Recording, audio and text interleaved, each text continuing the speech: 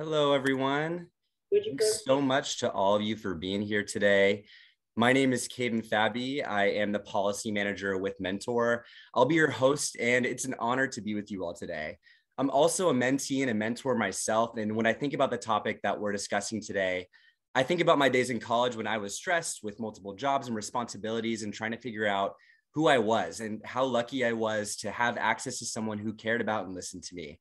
And now I get to be a mentor myself. And my mentee, Quandel, excitedly shared with me uh, the other day when he hopped in my car that he's getting straight A's and B's right now. So I thought I'd shout him out really quick. Um, but we're here today to learn and talk about one of the most important issues of our time. And that's how we support the mental health of our young people. We believe that all of us have a part to play.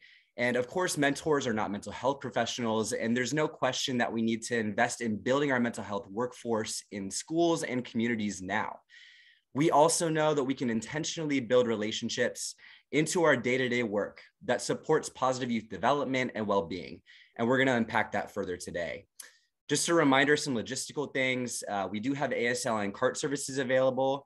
Uh, you can pin uh, Tara if you'd like to. Um, and we also have, you also have the ability to turn on live captioning. Please use the chat and the Q&A feature to ask questions and we'll do our best to get to them live, but no promises because we have a jam-packed agenda today. Um, and as part of that jam-packed agenda, you'll be hearing from mentors, from mentees, from program leaders, from researchers, and more about their unique perspectives on this issue. So, we're going to cover a lot over the next hour and maybe an extra five minutes or so, but all attendees will receive a recording of this event. And so, without further ado, let's go ahead and get started. Um, I'm very excited to introduce Representative Mary Gay Scanlon from Pennsylvania's 5th District. Representative Scanlon is the chair of our Youth Mentoring Caucus, and our biggest congressional champion for mentoring on Capitol Hill. And quick plug if you're a congressional staffer and your boss is not a part of our growing caucus, please contact Faith in Representative Scanlon's office. We would love to have you on board. With that, I'll turn it over to you, Representative Scanlon. Well, thank you. Thank you to everyone at Mentor and all our panelists for joining us today. I am Mary Gay Scanlon. I represent Pennsylvania's 5th District, which includes part of Philadelphia as well as suburban counties, Delaware and Montgomery County.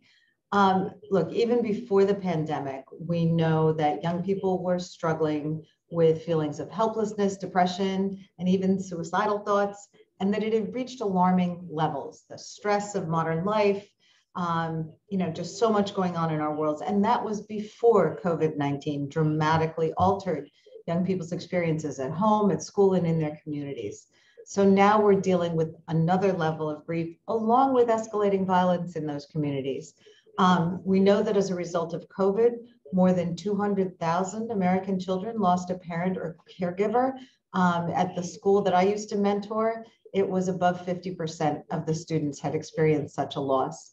Um, we've seen young people have had to watch their families struggle with financial instability, food shortages, housing insecurity, um, everyone is spending too much time on social media, being bombarded with messages that are often of questionable uh, accuracy, but also can be devastating to people's self esteem.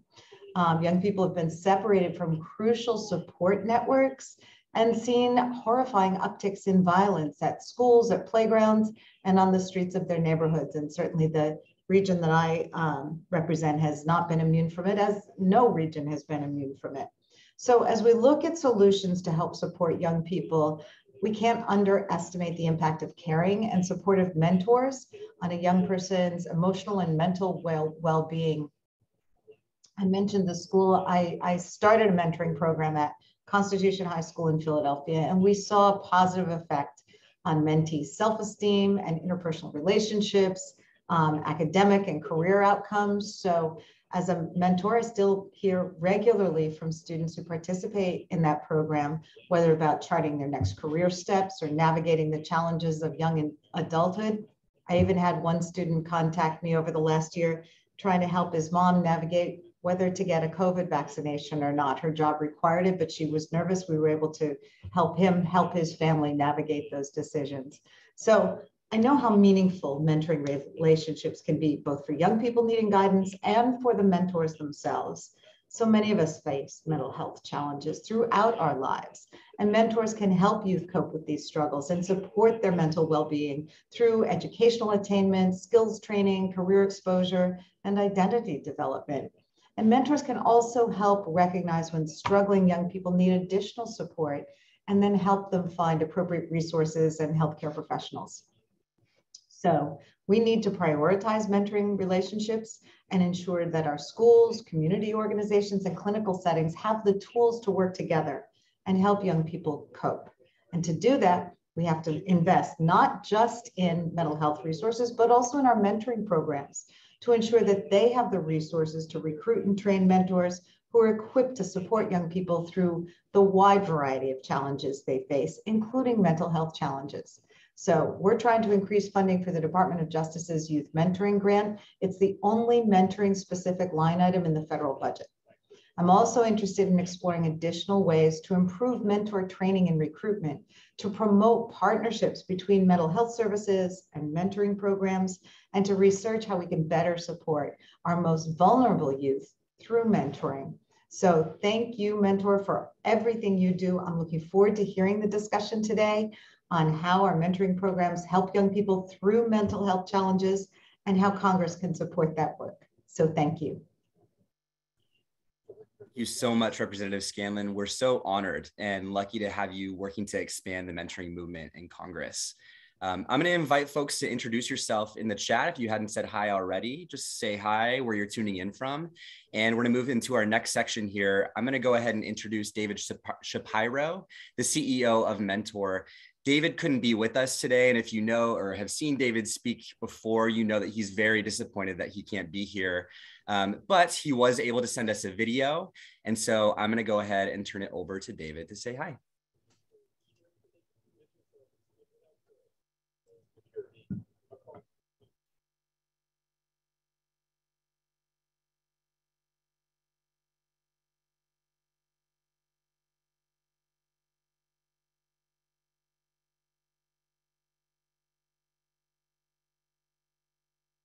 It's bound to happen. Just hang tight.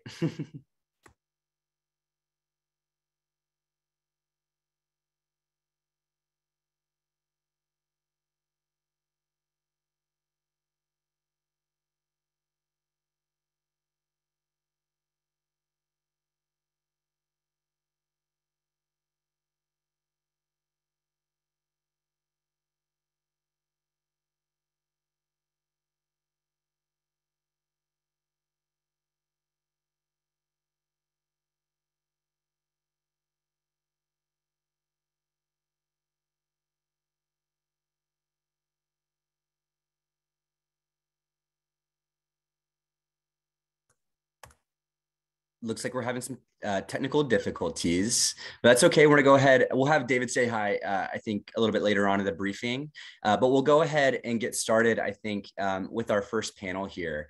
Um, and so I'm gonna invite our panel of mentors to go ahead and turn their cameras on. Um, and I'll introduce you to uh, Sophia Duck is the training and engagement manager with the mentoring project of Southwest Pennsylvania and is also a mentor and a coach. And Aaron Ock is a mentor with Worthy Mentoring in Washington, D.C. Um, so um, I'm going to start with a question for Sophia. Sophia, not only do you serve as the training and engagement manager for the Mentoring Partnership of Southwest Pennsylvania, but you're also a mentor and a coach of student athletes yourself. We know that there has been an increase in incidents of mental health challenges, in particular for young athletes. Can you just talk a little bit about the unique pressures that young athletes face and how you found success in supporting them as a coach? Yeah, thank you. Thank you for this opportunity to be able to share uh, some of my young people's experiences. So, our student athletes are trying to balance the everyday stress of academics, practice, and game schedules, community engagement, and they're trying to do this while being perfect at the same time. Um, so, as a coach, I've decided to stop telling my young people, push, come on, get through it. You'll be all right on the other side of this and resorted to a place where I have asked them, Do you need a break? How do you feel today? Um, I think it's more, and this goes back to what Katie mentioned earlier about just building relationships with our young people. It is more important for me to be a supporter of them than to have them show up to a tournament when they're grieving the loss of a young per, uh, another young person in their community due to gun violence or even a family member. Um, it's also more important for me to know that they feel like they can study um, because this is the end of their senior year. They're thinking about testing um, or even prom is an important thing for our young people right now and giving them the grace and the space to do that. Our young people are full of grit and are seen larger than life. The other side of that coin is that they're also human and they are experiencing these tragedies the same way that we are. Um, so I'll pause because I know there's a lot of other great things that Aaron can share. So I'll, I'll stop there. Thank you so much, Sophia. Um, I'll turn it over to Aaron. Aaron, you've seen how mentoring can impact and support identity development. Please share a little bit about your own experience of having a mentor and how it's created a cycle of you now giving back as a mentor yourself. Thanks, Caden and uh, and Sophia. Thanks for that awesome layup. um, so, in my experience, the two most critical facets of, of mentorship are representation and connection. So, those seeking mentorship are often in that position because they've found it difficult to see themselves or a part of themselves in those who would otherwise be supports in their lives, be those family members or coaches or teachers uh, or others. And so seeing an aspect of yourself and someone else is such an essential step in, um, in identity formation and validation. And so the second facet of that is the opportunity to connect with somebody by whom you feel represented. And, and seeing somebody is one thing, but having the opportunity to connect with them um, and learn more about them, ask them questions that get at the heart of your anxieties and curiosities, especially as a young person, makes a world of difference. And I know it did for me, which I'll share a little bit more about in a second. But equally important is having whoever is in that mentor position take the time to learn about you. And I think mentors are in a a better or you know unique position to make their mentees feel seen and understood, uh, which is which is terrific and really an empowering place to be. So the first time I felt as though you know I saw my identity as a as a is a gay man now and and boy then represented. Um, I was probably 11 or 12. Uh, was by a gay couple that was active in our church congregation uh, growing up, and so it was it was the first time that I saw the church's uh, mission statement as an open and affirming institution get tested, uh, which is profound. Um, and I and I didn't really at the time have the vocabulary or sense of self to realize um, that I felt so connected to these people uh, in in no small part because I was gay, but that representation played a critical role. Um, so after I stopped going to church when I was in high school, I sought I sought out this couple for additional guidance on how to navigate some of the challenges I um, was experiencing as an adolescent finding his way out of the closet.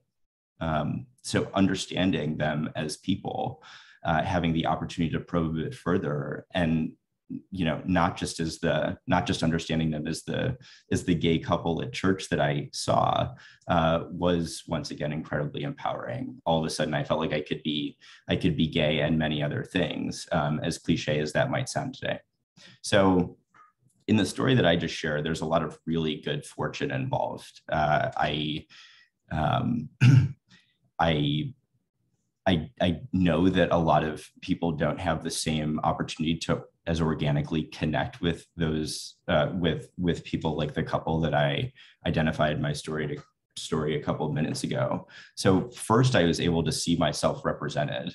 Um, secondly, I had the confidence and resources to, to seek out the kind of people with whom I was interested in connecting.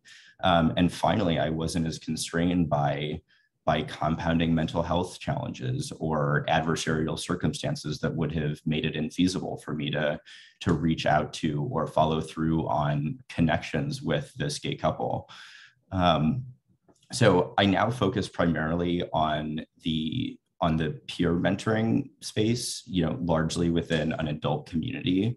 Um, Caden, you talked a little bit about one of your mentees earlier. I, I have um, one and now a second through Worthy, which is terrific. Uh, both of them I would regard more in my age cohort. Um, but, you know, especially in the LGBTQIA plus community, I think the late youth and early adulthood phase is still really uh, critical for that identity formation. Um, but also, I, I focus on this space because I'm not as plugged into uh, the other resource ecosystems um, that that I feel like I would need in order to provide youth with the support that they would need. And so that makes the provision of additional resources all the more important for those working to serve younger communities. And so, you know, it, it, as we think about establishing better supports and interventions for mental health challenges and facilitating a healthy identity formation from an early point, um, that really does require us to meet uh, those seeking this kind of connection where they are, um, as, as, opposed to as opposed to imposing the burden on them to seek out some of that connection. And so, for us to really meet the mental health moment we're in, um, I do I do believe that we need to lower the the barriers to and costs of accessing those services. So, thank you everybody for being here today. I'll turn it back over to you, Caden. Yeah, Aaron, thank you so much for sharing your powerful story. Um, I have just one more question that I'll pose to both of you. Um, as people who care about your mentees, you and talk to them regularly, you may notice when their mental health health is going south. So, what comes next after you notice that happens?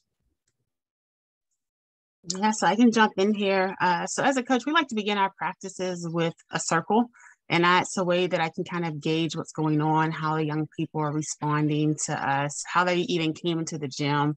Um, and as part of that circle, I can hear, oh, it's testing week, or um, like I mentioned, prom produced a lot of anxiety for our young people. Uh, so just thinking about what I'm seeing all at that circle, but then also in drills. And the first thing that I just want to share is what Aaron was just mentioning is just support what does it look like? What do they need in that moment? Is it an empathetic air? Do they need to take one of the coaches to the side because they haven't had a chance to vent all day? Um, maybe they haven't had a chance to talk about what happened over the weekend because um, a lot of young people are experiencing things that we're not able to fully address during the school day. Um, so, what does it look like to just sit and give them that time? And then the other part of it is what are the professionals or resources that are within the community that I can uh, let them know about? Can I be a, a warm handoff to somebody else? Can I talk to the counselor at the school and say, hey, we want to pay a little bit more special attention to Sophia because this is happening here? Um, but just being supportive. And again, going back to the idea of just building relationships, letting them know that we're there and that we care for them. Um, so, Aaron, I'll give you a chance to share. But again, thank you for this time. I, I can't echo that enough. I think it, at the top, you, you talking about some of the situations that you, as a mentor, somebody who is attuned to what's going on in their life, know are coming up for them and might may act as those stressors. I think is critical, and and that you know, as a mentor, you it is really important to check in regularly with those who you're mentoring in order to in order to be able to anticipate and not just react to the things in their life that might be causing stress and so so i think that's the that's in the proactive category. If i do if i do realize that i'm i'm in a, a moment i was unable to anticipate um, where where i find a mentee stressed uh, or or you know facing a facing a really challenging situation i think before beginning to engage with that mentee uh, it's imperative for for me and I think other mentors to do a bit of a self check and really rapidly one you know determine what they you know what they can do to maximize their own availability and emotional bandwidth. And to you know think through some of their limitations um, that that might that they might run into as they as they get further into conversation with their mentee um, so actually I, I, think it's in this step that i as a mentor would benefit tremendously uh, from some additional coaching and training on because it's been quite a while and and it was sort of in a previous life that i had um, that I had that training, but I, you know I haven't gotten as much of that through my current organization. So when I talk about when I talk about some of the you know some of the barriers to entry and and costs that mentoring organizations that are maybe just getting started don't think about, it's some of that training overhead. And then the last part that I just want to hit on is you know w- once you start engaging with your mentee, it's about building additional trust from that very first moment. You know, it's it, that, that you see they're in distress. You know how do i get a sense of where they are but the aggravating challenges while not requiring them to re-experience the the situation if they don't want to? I, I think this step requires the most creativity in that in that i need to be in learning mode as a mentor while also uh, giving them the impression that we're we're making some headway and and you know identifying potential resolution paths. So yeah. Thank you so you. much to both of you um, for being here today. I uh, think your mentees are clearly lucky um, to, to be working with you both. So I want to thank you both. We're going to keep this uh, conversation going and we're going to go back and go ahead and share uh, David Shapiro's video, the CEO of Mentor, to say hi.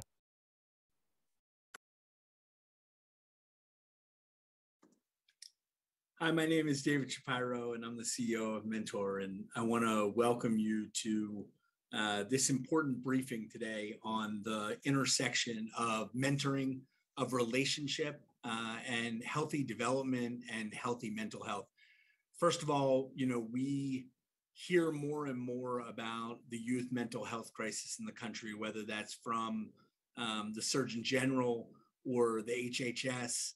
Um, it is uh, something that, when we frame it as a crisis, uh, fear you know feels overwhelming.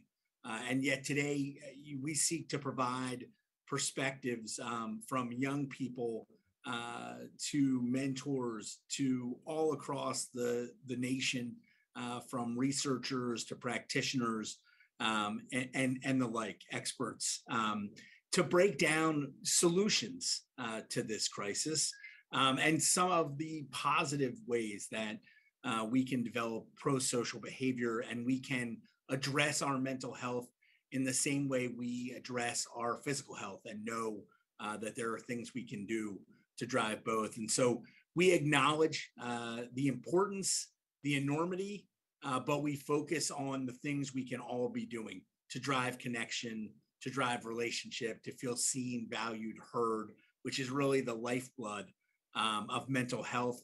It's the lifeblood of how we support and invest in uh, our next generation, the now and the future.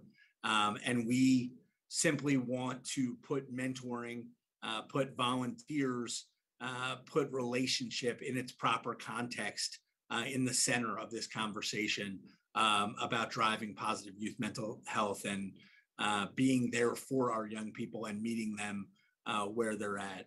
Um, we've really tried to uh, you know center this session as kind of a, a continuity uh, from a plenary topic that we devoted at the national mentoring summit the words of an olympic athlete Laurie hernandez who joined us uh, and talked you know so powerfully and eloquently about um, how she could you know thrive and perform in front of millions of folks and then uh, feel despondent and freeze up on a driver's test. But just the way in which our mental health is contextual to our experience, to our trauma, uh, the way in which each of us is is sort of wired differently and need folks to understand us and meet us where we're at, and and that um, is really the key uh, to the constant addressing of our of our mental health um, and our ability uh, to really help our young people thrive and strive and help ourselves uh, also as adult partners and supporters thrive and strive by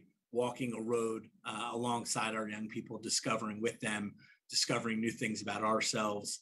Um, and so that community, that connection, uh, we really want to talk about today. And, and we really also want to stress that it doesn't happen by accident, it can't be taken for granted, and to address the enormity uh, of what we face and are needing to sort of rethread our civic fabric, fabric and our connection. It's going to take all of us, and we feel incredibly fortunate um, and and to bring you uh, this all-star group of voices, problem solvers, and civic threaders um, to talk about mental health and relationship. Thank you so much to our team for putting this together and to everyone for joining us uh, as we discover one of the most important things going on in America today. Thank you. Thank you so much to David. We're going to go ahead and turn into our panel of mentees. I'm going to invite our uh, young people to go ahead and turn on their cameras. Uh, we have Tatiana Howard, who is joining us from Minnesota, and we have Gabriel Capella, who is joining us from Puerto Rico today. So I just have a couple questions for you both, um, and I'll let either of you jump in, whoever wants to go first. But the first question we have is just what are some benefits that you've personally experienced from having a mentor? I can definitely uh, talk a little bit about that if that's okay. Um, when I when I listen to this question, one of the first things that I say is that it's kind of ironic because my mentor is younger than me. He's my best friend, and he's like uh, a year younger than me, but he's really smart, and I really really value all the feedback and all the support that he has given me, especially throughout the last two years. Um, but I would say that mentoring it's literally just being supportive, it's just a reassurance because a lot of times, majority of times, um, people, young people that are just feel lost um, or in fear or in doubt of themselves, that's just doubt. That's what it is, doubt. And for someone to be there and listen to them and literally just say that everything's going, going to be okay, it means a lot. Maybe it doesn't seem like it means a lot, but for that person, it does mean a lot. Um, and that's one of the things that my best friend always told me everything's going to be okay. And at the moment, I said, like, he's not right. But at the end of the day, everything was just, was just all right all the time.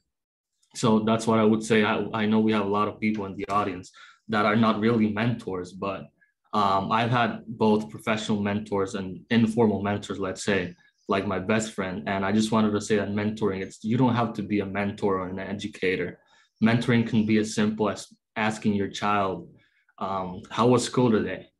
Asking them and just being open to listening to what they have to say. It can be that simple. Um, and you can make a really, really, really strong impact on, on that child because maybe they won't open themselves up to you at the beginning, but if you keep asking and you keep offering yourself, um, they will talk to you eventually about what they're having trouble with or anything that they just want to tell you and they and they can't find anyone else to tell um, until you ask them Thank you so much, Gabriel. And I think that peer mentoring is exactly what you just talked about is so important um, and something that we really encourage as well uh, in mentoring and the mentoring movement. Tatiana, I'll turn it over to you. So any benefits that you've personally experienced from having a mentor? Yeah, so I um, was blessed enough to have multiple mentors in different stages in my life. My first mentor was about 10 years ago um, through an organization, excuse me. And I think the biggest benefit I got from that was just the understanding of not needing to be perfect. And I think that was a huge benefit because she showed me that through her imperfections as well. And I think that is one of the most purest and beautiful things about mentoring in general is that you see it's a growth experience for both the mentee and the mentor um, in different areas in life that you probably wouldn't even understand until you get to a certain stage in your life. I know for me, um, when I met my mentor, she was 22 years old. So she was just graduating from the University of Minnesota. And she was just explaining what life is like being at that age. And I I really didn't understand it that well. I just thought I was like, okay, well, I mean, this seems fun and interesting. fast forward to the future, I'm done with college now in the real world. And the things that she was saying clicks now and everything makes sense. So I think that's one, excuse me, I think that's one of the biggest benefits is just the life experiences um, that she's taught me and um, just the, I gained a mentor in that experience, but I left out with the lifelong sister. I was just actually finished having lunch with her the other day. So um, that's definitely the biggest benefit I would say I got out of it. Thank you so much for sharing, Tatiana. Our next question, I'll pose it to both of you as well. Um, can you talk about how having a mentor has provided support at a time when you needed it? Whoever wants to jump in. Yeah, I can talk a little bit more about that. So uh, it was about a year ago, and then I was just heading to college. So um, I go to Providence College. I'm a student there. I'm a rising sophomore now and I had to move from Puerto Rico. My well, I was born and raised here, and I had to leave my family behind and all that, and it was a really hard time. And the first weeks, couple weeks, were hard for me and all that. But I I talked to my friend, my best friend, and my mentor every single day when I left. Um, and sometimes I didn't even talk to my mom, and I talked to him first. Um, and again, what I remember, he he uh, every uh, every single time he told me everything's gonna be okay, and eventually you're gonna come back, and not only that, but you're gonna find your place in college, and that's eventually what happened, and that's something that Tatiana talked about that too, um, that eventually things are gonna click, and if you can just tell the person that you support them and that you're there for them, sometimes they'll ask you something or they'll just bring up something that maybe you don't have an answer for them and that's okay. Um, if you just listen to them and listen and listen to them you guys are both going to figure it out eventually. And also touching on something that, that tatiana said as well that the mentor gets something out of the relationship. That's true. And not only that but in some cases um, the mentor can become the mentee because we all face hardship in our lives and maybe if the maybe if the person is young even if the person um, that you are mentoring okay the person that you're mentoring may be younger than you but if the table turns around and you are the mentee even if that person is younger than you they may be up may be able to help you. And that's the nature of the of the relationship just helping both uh, each other out yeah and uh kind of to add to that what gabriel said about the mentor becoming the mentee, I have this one story of uh, my mentor and I did a public um, engagement where we both uh, spoke in front of like a bunch of people, like over 100 people um, in attendance. And I discovered she had stage fright.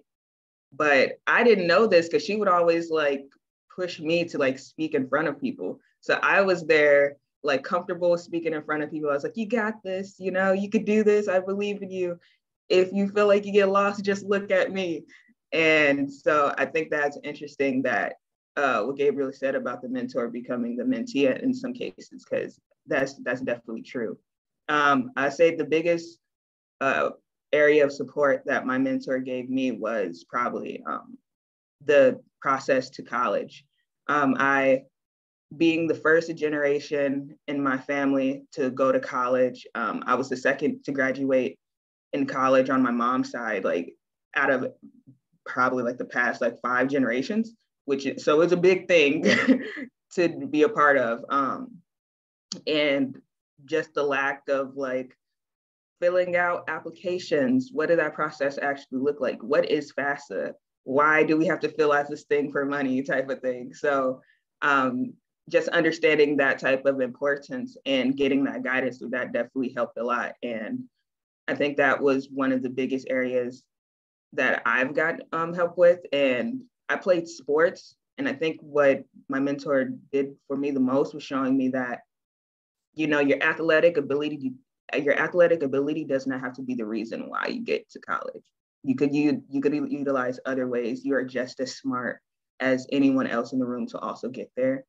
And she became like so such a pillar in my life through that experience and through every experience she's been through all of the big big stages in my life from graduations to getting my first job and stuff like that so i think the beauty of mentoring is that, you know, you like why mentoring is so important and why seeing someone, whether they look like, especially if they look like you in um, different in different stages of life, is that you know you need to be able to see the life you want to manifest for yourself, and a mentor can literally be that physical um, proof of that life you want to manifest for yourself. So that's probably the biggest benefit I got from mentoring for sure. So powerful. I want to thank uh, both of our young people for joining us today and being vulnerable and sharing your stories um, just thank you so much. We're going to keep this thing going um, and move on to our practitioner panel. Um, and so I'm going to invite our program folks to go ahead and turn their cameras on, and I'll do some quick introductions here. We have Dr. Ahada McCummings, who is the Senior National Director of External Affairs and Organizational um, Education for Up2Us Sports. We have Andy Bichelle, who is the CEO and president of the Boys and Girls Clubs of Southern Nevada. And we have Sarah London, who is a licensed social worker with the Children's Hospital of Pittsburgh. Um, similar to our previous panels, I'm going to go ahead and um, hop in with some questions. Uh, the first one's going to be for Dr. McCummings. Uh, Dr. McCummings, you are a senior director at Up2Us, an organization with the mission of engaging, training, and supporting sports coaches in low income communities. Can you talk a little bit about the difference that high quality coaches can make in supporting the mental health of young people? Absolutely. Thank you, Caden. Um, so, so a couple ways.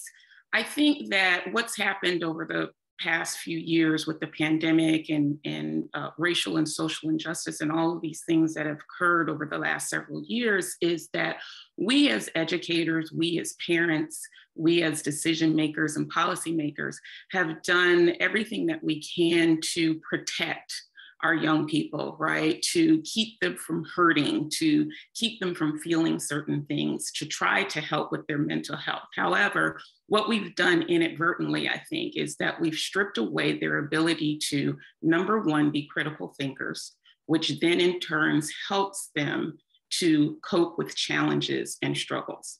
And so, in terms of coaching, right, um, coaches who are mentors who are who are working with young people, what I believe is that sport imitates life, and some may argue the opposite that life imitates sports, and it may be a little bit of both. Um, but coaches have the ability when they understand that mental health is but one dimension of people's overall health and wellness, right? So you have your mental health and wellness, but that's just one piece because you have your physical health and wellness, academic wellness, your social wellness, your uh, environmental wellness. All of these things are interconnected. And so, what's unique about coaches and high quality coaches is that they have the understanding that they have the ability to have an effect on every single aspect of their young person's wellness. Um, and so that's what we are trying to teach people that, you know, it's all interconnected. And so when your mental wellness starts to falter, so do some of the other aspects of wellness within your life. Um, and sports is one of those things, one of those areas where you get to intentionally set up situations that mimic life that help young people work through those challenges. You can intentionally put challenges within a practice and then uh, um, you know, ask your young people to overcome that challenge, but you also have the opportunity to make the connection for them about how overcoming that challenge in your sport can mimic overcoming challenges in life. Um, and so that's what I want, especially for those that work with young athletes, is to really take those opportunities and recognize. We heard some of the other panel members talking about how they check in with their with their young people and their athletes about their academics and what's going on socially with prom and other things. And so you have an opportunity to understand that all of those aspects of your young people's wellness is interconnected and that you have a hand in making sure that your young people are well. Thank you so much, Dr. McCummings. Um, I'm going to turn over to Andy. Um, Andy, you've seen success in the mental health programming you implemented at the Boys and Girls Clubs of Southern Nevada. Just share a little bit more about these programs and the work that it took to get to this point. Yeah, we we kind of backed our way into it. Um, I had a staff member that got her master's in counseling, and I started a conversation with her on how we could be intentional to bringing, you know, licensed uh, assistants to our kids, but also our staff. As you can hear the mentors talking, they're not professionally trained necessarily to do these things. So, so I, I can't fill my club full of licensed professionals and, and you know just maintain that budget but how do we have those skills and those talents in in the clubs to really be able to do that and that started a bigger conversation with our state DHHS, who was looking for an organization willing to um, really bridge a big gap for us in Southern Nevada is transportation to consistent mental health services. So, how does a working family get time off to get their kids to uh, mental health services uh, by bringing mental health licensed mental health uh, clinicians into our clubhouses uh, it eliminates that that aspect of it and provides more consistency around it.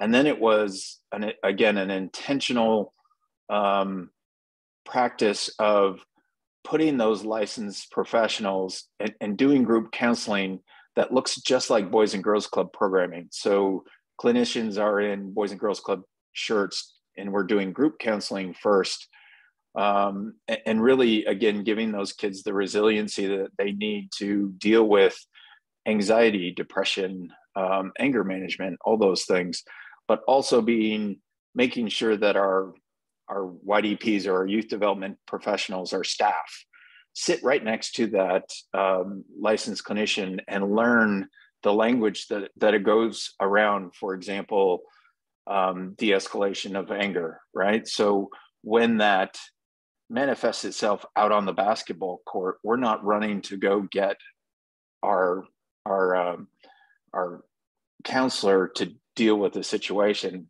Our our staff is has enough training to be able to identify that this child is having issues with the anger, pull them away from the situation, have them go through their routine that that de-escalates the situation and then really introduce them back into the group. So again it's it was really an intentionality for us to bring that licensed professional into the clubhouse but really cascade teach to the entire staff so that everybody is working to support those things.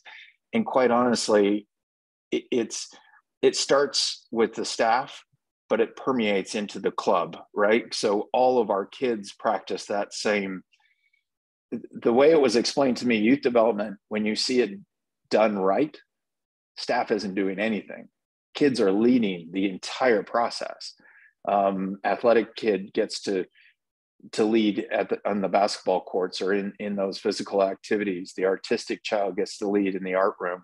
The academic or the or the technology um, kids get to lead in that department but and, and we're constantly moving throughout the clubhouse but really want to give those kids the opportunity to lead and to follow how and how you do both. So they get those resiliency pieces but we need to model as staff how you communicate with other what is the social discourse that happens um, to be able to have the environment the safe environment that you want. And that's really again really intentional to we wanted to bring the uh, the counselors into the clubhouse to be able to provide that that baseline that everybody can work off of um, and really help the entire group. The the one thing I will add is the big hurdle for us was it's great. I want licensed counselors into our clubs. How do I pay for them? That was the other piece. And through a, uh, a, again the relationship with our HHS at the state level, uh, they helped us get credentialed to bill Medicaid for those to to pay those clinicians to be able to have them for the long term and create sustainability around that intentional programming. Thank you so much for that insight, Andy, and such a unique and important partnership that's making a difference in Southern Nevada, my hometown. Um, Sarah, I'm going to uh, pass the next question to you. You're a licensed social worker for the Children's Hospital of Pittsburgh, and you serve as the violence prevention specialist for the Empowering Teens to Thrive program. Can you talk about how you've been able to successfully integrate mentoring to intervene with and support youth mental health challenges when they've been impacted by community violence? Yes.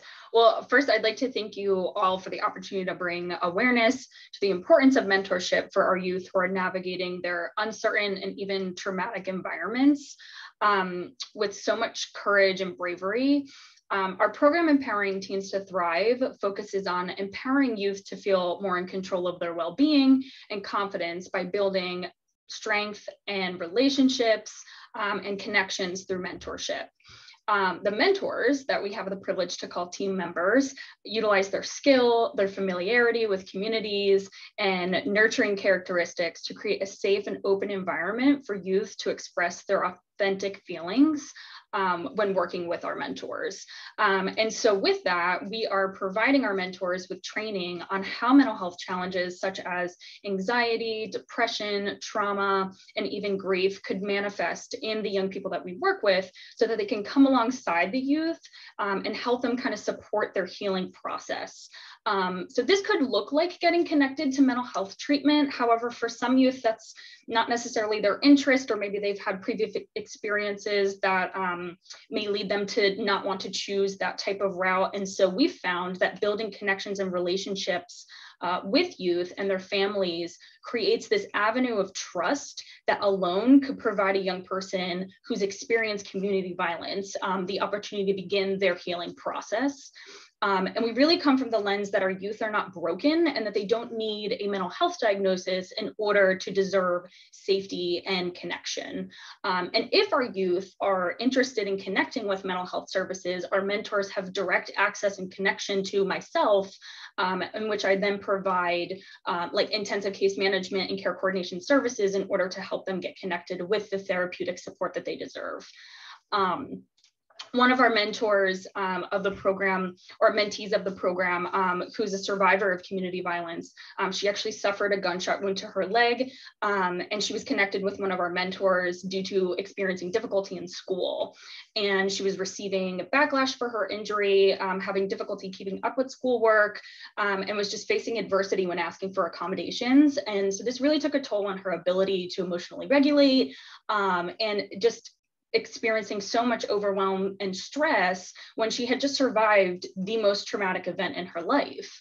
And so our program kind of stepped in along with our mentor and created this connection with her and relationship in order to help mom, who was serving as her incredible advocate, but support mom as well um, in advocating for this young woman's need to be in a more supportive environment for education.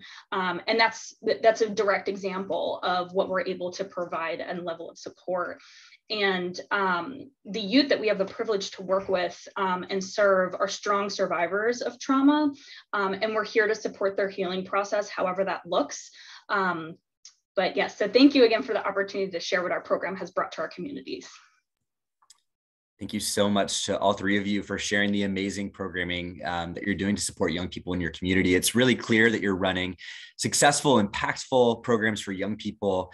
Um, next question I'm going to ask everyone to be quick. Um, uh, we're running a little bit behind on time, but we want to get through everything. But want to ask about resources and um, what resources does it take to be successful? And if you could wave a magic wand and resources were not a concern, how would you expand your work in this space? I'll go ahead and, and answer that question.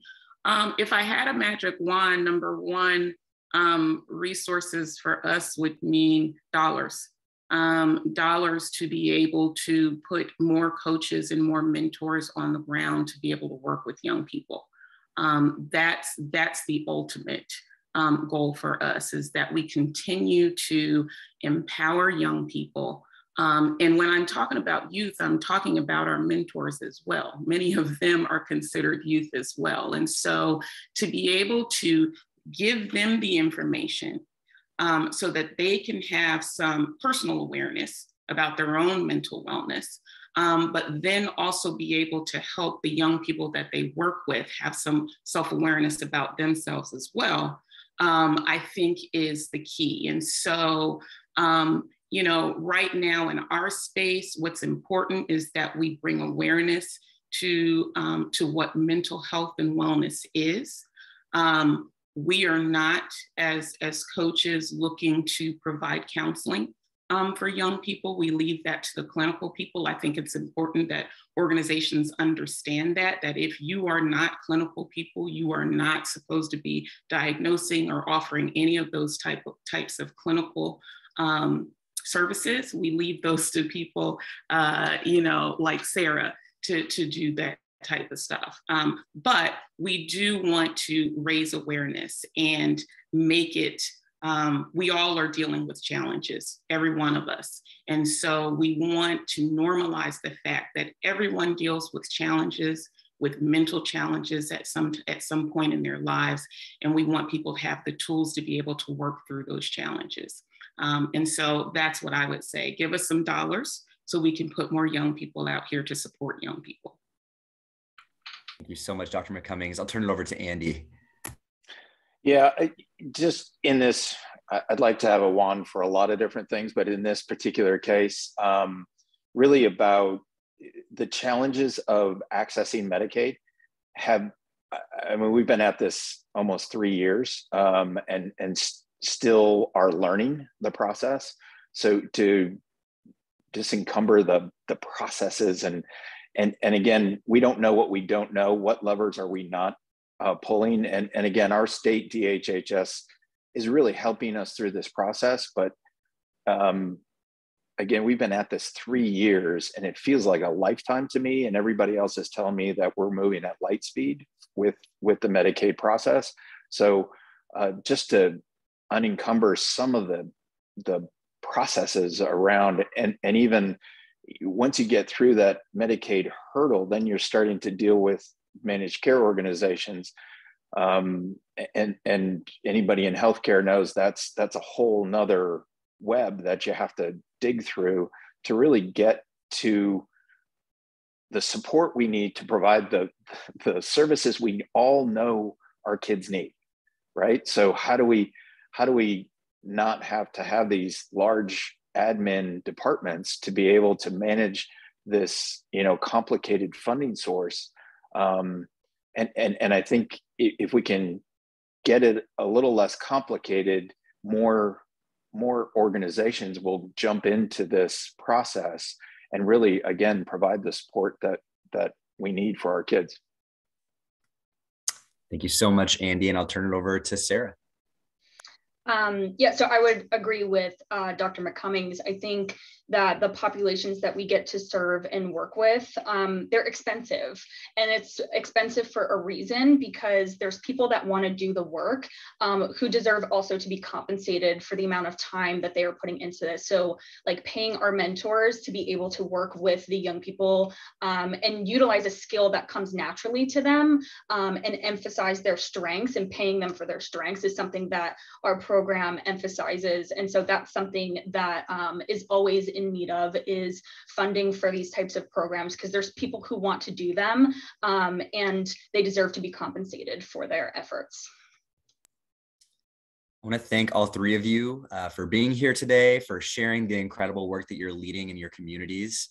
Um, we're going to keep this thing going, but uh, we'll make sure that folks can contact you if they have additional questions about what you shared.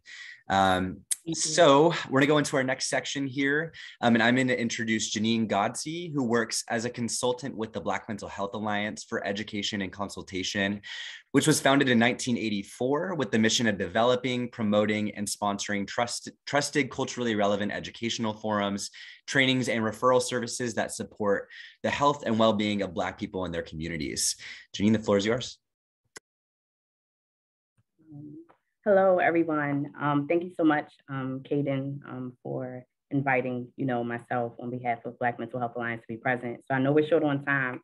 And so when Caden and I were in communication, you know, I was asked to just share about the acute, I guess you could say like the acute mental health crises impact on Black youth and maybe just kind of also highlight how mentoring and relational supports and programs can support. Um, first, I want to share um, that I think it was on the um, youth panel, the mentee panel, excuse me, um, where it was mentioned about how parents and guardians can also be mentors, right? And in essence, an influencer in a young person's life. So as I reflect on that, it caused me to wonder like even more about the various socially engineered traumas um, to include racial discrimination that has interrupted families and communities from being able to support the young people within the community and thus has led to such a large uh, surge in needing more mentors to ensure young folks and thus ask for more public dollars. And so it, as I reflect on um, this statement also around the acute mental health issues for Black youth, I began to wonder like, well, how do we define, what does acute mean? And it means like severe or sudden onset. So what I will share is that many of the life events that are being discussed have been in existence and efforts to address those life events and the manner in which they impact mental health and wellness for Black youth has already been occurring. Um, however, oftentimes um, the dollars are not funded, funneled to people who are actually boots on the ground, who also look like the young people, um, and who are incorporating various types of practices that are unique to their cultural identity. Um, so I think that is important for us to keep in mind. Um, what I will also say is like, well, what supports would be needed to address the mental health and wellness um, for Black youth in particular? I, of course, we know more support is needed, but I think it really starts with the mentors, the leaders of the organization, um, as well as board members that sit on those organizations to undergo various types of professional development and training that introduce them to what socially engineered traumas are compared to just life events, right? Um, the loss of a parent is a is a traumatic situation, right, for many. However, the manner in which you lose that parent, if it's by way of medical apartheid because they weren't listened to as a black woman when they went to the, the doctor, or they were the recipient of police brutality simply because they were walking while black, that is a socially engineered trauma compared to a traditional trauma. So I think that there needs to be some form of training, professional development um, for, thank you for that 90 second um, reminder. It needs to be some kind of training and professional development that exposes mentors, leadership within those organizations, their board members to what socially engineered traumas are, um, such as dehumanization of Black people, adultification of Black youth, and how that has played a part in, um, I think it was the Central Park um, gentlemen that were wrongfully incarcerated. Um, in addition to that, um, I think that it needs to start there. And secondly, reallocating public dollars to organizations that are boots on the ground, that are possibly even, you know, um, African centered if they're working with Black youth, or they are doing the work in the community, but they often do not get the money. So that is what I think should happen instead of um, giving the money to other individuals. Um, and we have to examine the historical context on what has taken place and how we handle Black bodies and how it might be occurring in today. So that's what I would offer up. More money is needed, but it's a matter of where we actually reallocate those dollars. So thank you for your time.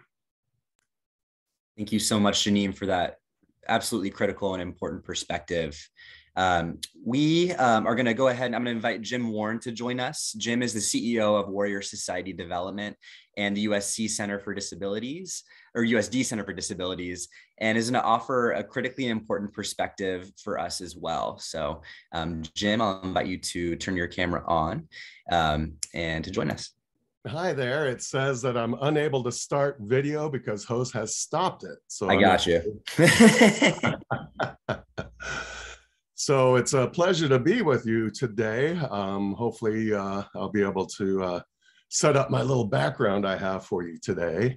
I'm actually in New York. Oh, here we go. Start my video. Okay.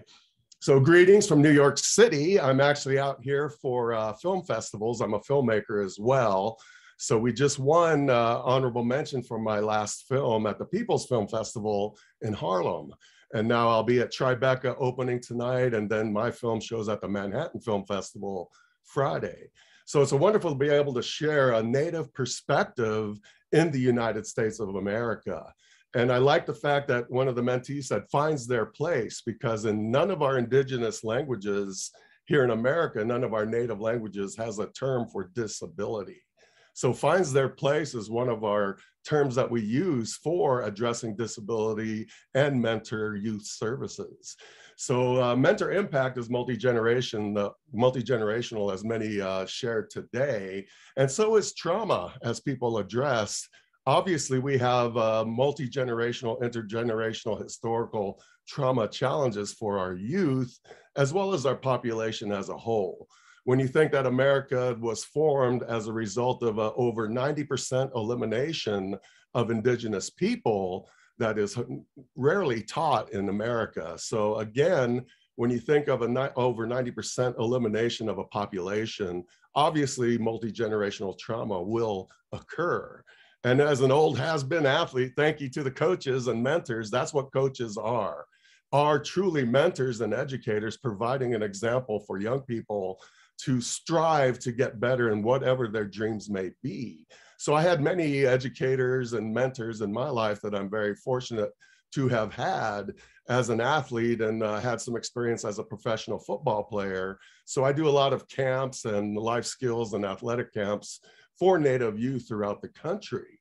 One of the one things that is very uh, impactful for our youth back home on Pine Ridge Reservation in South Dakota is every day a youth attempts suicide. So today, one of our young ones is attempting suicide as we speak. So that's something where we have the highest rate of suicide. And when you think of the life expectancy of Native people in South Dakota, uh, the life expectancy for general South Dakotans is 81. For uh, tribal members is 54. On my reservation, Pine Ridge, it's 47 for Indian men. So if anyone was concerned, that would be a public health crisis. Unfortunately, America is not concerned because they're not doing much in terms of, for instance, funding and resources.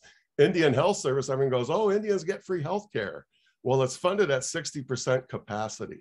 So whenever I uh, talk to congressional leaders, I say, please fund us equally to federal prisons. Because as of now, federal prisons get double the amount of health care per prisoner as compared to tribal member through Indian Health Service. So please, Congress, at least fund us equally to prisons or would be wonderful to be up there with veterans, Medicaid, Medicare, but they're four to five times more per patient. So when you think of that systemic issue, that leads to more challenges for our youth that are struggling every day with suicide and just trying to survive in many of our communities in Indian country. So when you think of adverse childhood effects, they're checking off all those boxes and we need to do what we can to provide them the mental health resources and supports for our tribal members, the first Americans, if you want to say, in terms of why are we forgotten in this overall general health care and approach to mentorship and uh, providing adequate services to our young ones. So as uh, one of my mentors, my mom, she's still, she's 83 and still teaching nursing. So she's still out there making a difference for Indian country. And it's our allies, our non-Indian brothers and sisters like yourselves, who we need to join us and to bring attention to Indian country issues. So Palami Awashtelo, thank you so much for all you do for those young ones, those future generations that we all have a responsibility to not only represent, but give them opportunities to succeed. So thank you very much.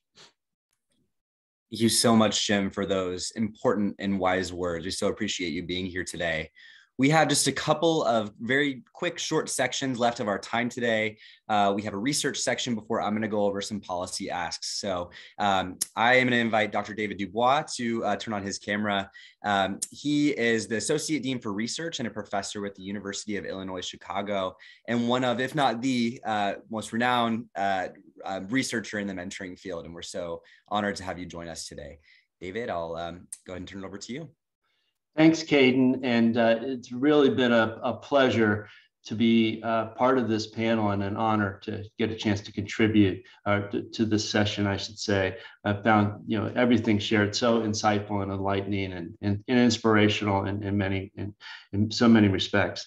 Um, I won't belabor uh, what uh, Representative Scanlon so well articulated at the start of this session, but to briefly put some specific numbers to the mental health needs that exist today um, and have for a long time in, in, in, in large measure for our young people. One in five at any one time will meet criteria when you go about trying to create some line for diagnosis of an actual, you know, mental health disorder, as it's called, that the language is not ideal, um, but really challenges or concerns that rise to the level of, uh, you know, experts feeling that, you know, treatment and, and, and supports are needed.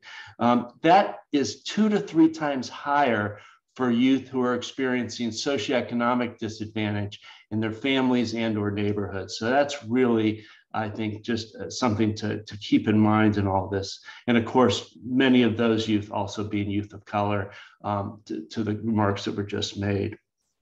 Um, we know that mental health uh, treatment can be helpful.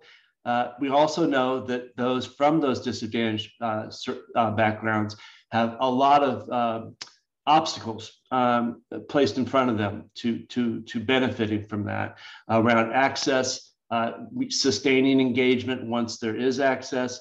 Uh, and there's some evidence that the effectiveness of, of what is offered may not be at the same level as it is for, for youth from, from other uh, life cir circumstances. And of course, none of this addresses the issue of prevention, of hopefully avoiding uh, youth uh, as much as possible from getting to the point where, where treatment uh, is, is a needed option. So um, where does mentoring fit in? I, I think, uh, Caden, if you can share, yeah, thank you.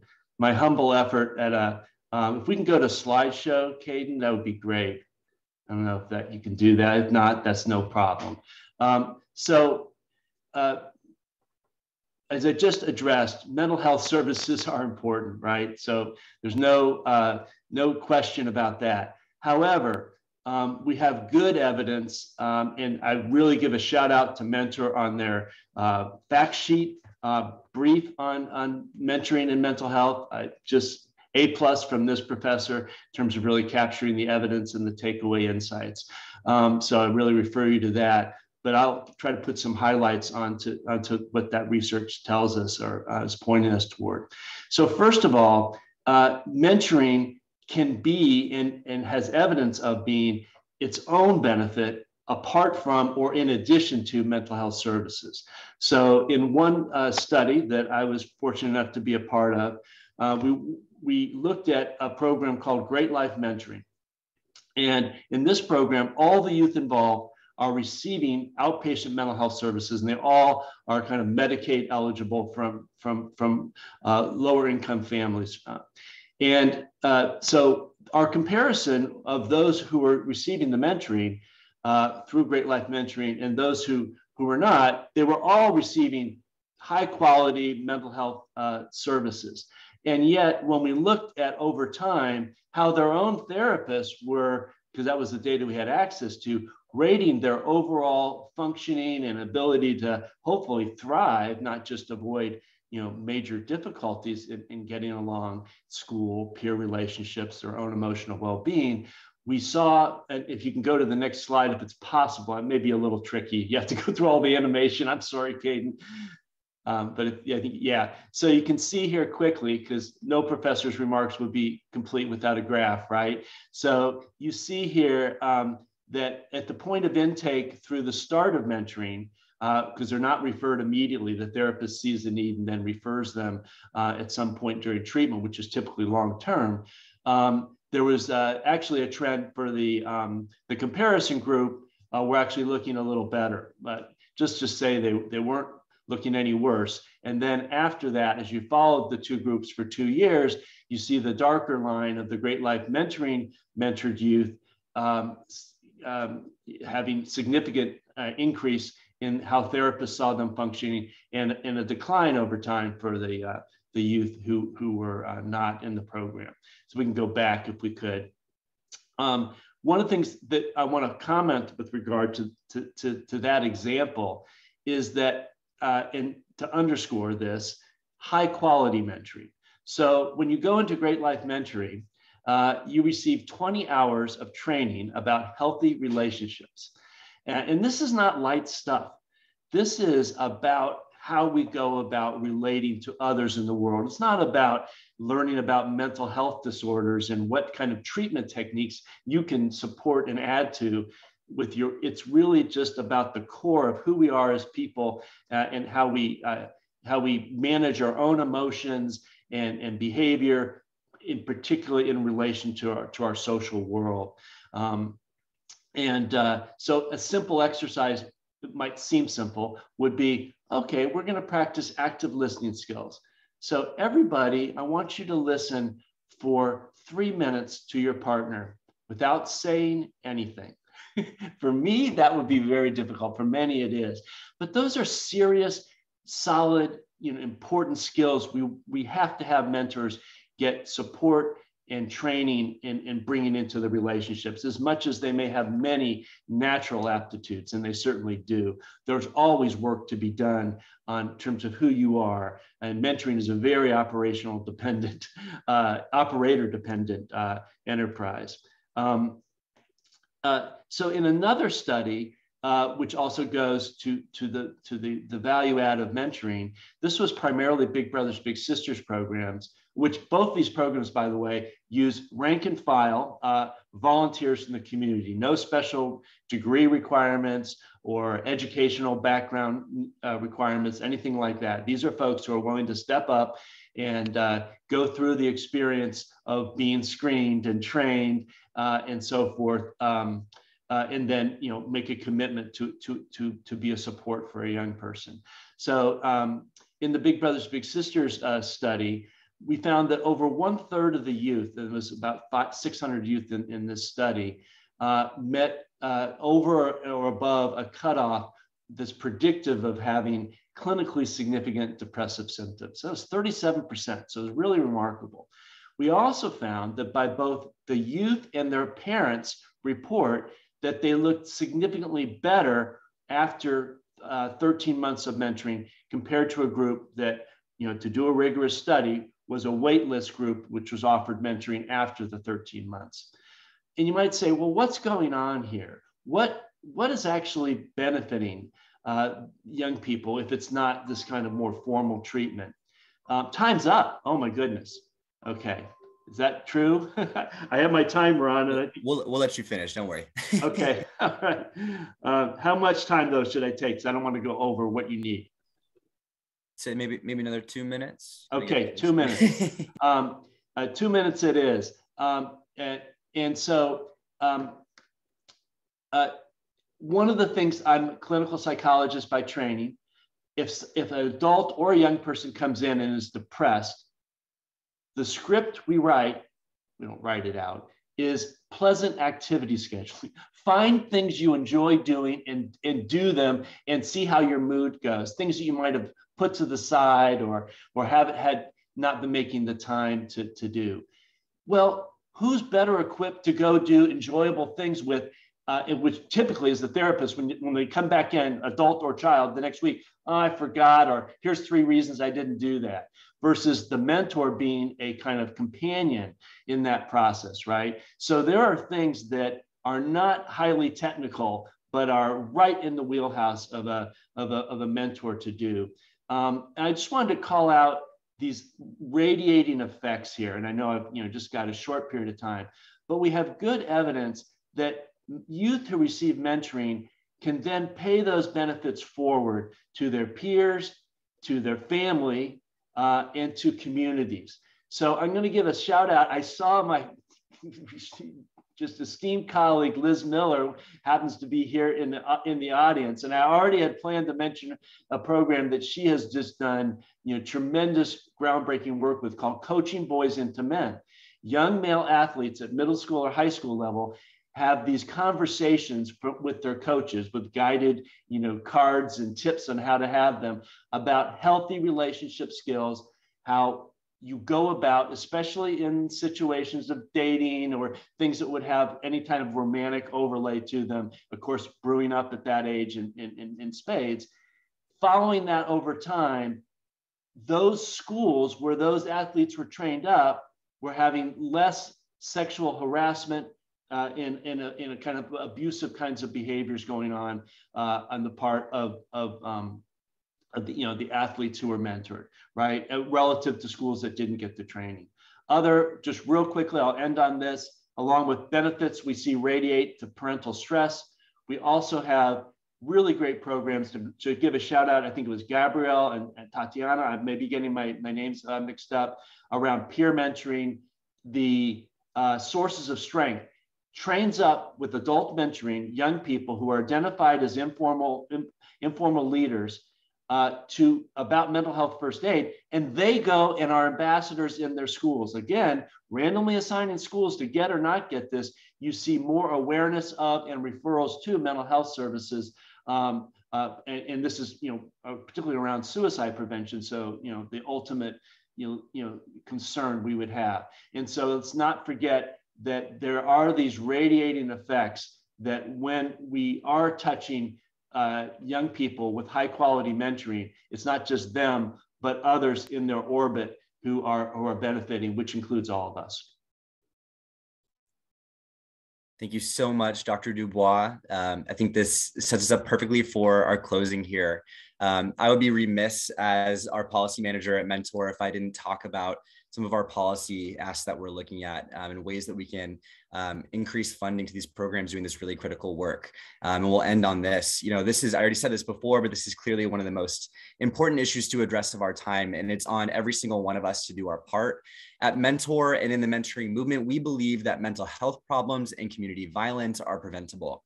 And through our policy priorities, we're attempting to legislate care and love and community and acceptance for our young people who don't get as much as they require or deserve. When we invest in mentoring programs, we're investing in all of these things, all of these qualities. But unfortunately, our most recent data suggests that the average waitlist is 63 young people for a given program, which is indicative of a shortage of resources. We're very proud of the OJJDP Youth Mentoring Grant, which is the singular funding stream specifically for mentoring in the federal budget. It was funded at $102 million in fiscal year 22, which was a $2 million increase. And our movement is calling for $130 million for fiscal year 23.